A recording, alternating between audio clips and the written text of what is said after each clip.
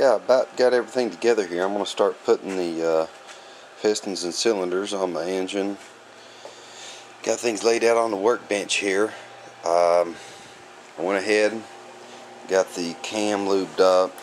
I don't know if you can see that or not. A little dark in there. I'll see if I can get a get a flashlight.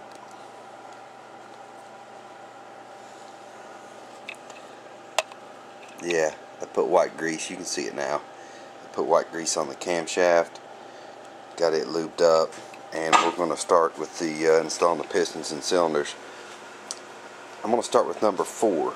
And the reason for that is I've got this um, boss for the oil cooler. It's going to be in the way if I put number three on first I won't be able to drive this wrist pin in from this direction. With these you always want to take your pistons out of your cylinders and clean them. I've found little styrofoam bits and so on and so forth up here where the oil ring groove is. So you just want to be careful and make sure, don't take the easy way out and just go and install them. You want to take them apart and clean them, re-oil them and, and get your ring compressor and put them back together. Got my baby girl Abby here. She came out to work with me this morning. She just got out of bed and her hair's just a little messed up, but she still looks very, very good, don't you, Abby? You still pretty, huh? Okay, I want to apologize for the the bad camera work here. Uh, a little short on help. What I do with this, I, I take this uh, Permatex aviation sealant, and you want to get a good coat of it all the way around.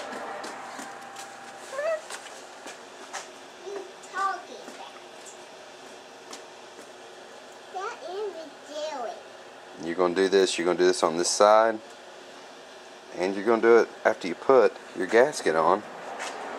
You're going to do it on top of the gasket as well. This is a little hard to do. I'm right-handed and I'm trying to work with my left hand, which I've had surgery on, so be a little easier if I had a camera person, but you have to go with what you've got, right? So anyway, I'm going to go ahead and finish this up and then I'll put the gasket on. I'm having a little trouble working with this hand. Then we'll put the top coat on. Okay, I got the sealant on the bottom and I'll put my gasket on. I'm going to go ahead and show you one of the gaskets here. Yeah. One, of the, one of the ones that's laying free. Yeah. Now this is the, the gasket that goes against the block. These are your head gaskets.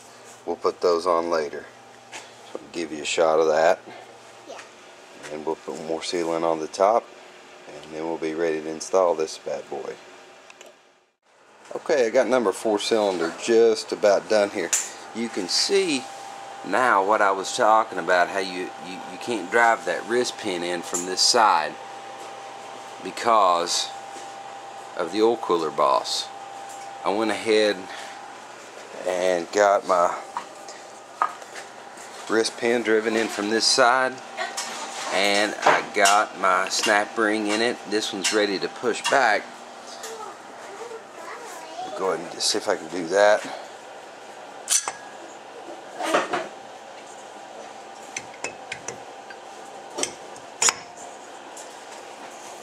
There we go.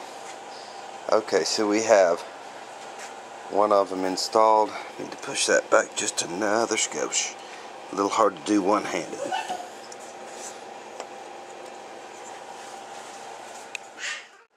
Okay, I got number four completely in now.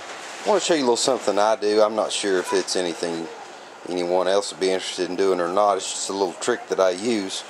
I'll just take a regular half inch PVC pipe and I cut uh, four pieces all together, two, one and, a, one and three quarter inches and one three and three quarter inches and I just slide it against the top of the cylinder here and then I tighten this just maybe a little bit more than finger tight and the reason I do that is this, as I turn this motor through its strokes to put the other pistons on, it's going to want to push this cylinder back off. Well, I've already got sealant and my gasket on there, and I don't want to work that seal there that way back and forth.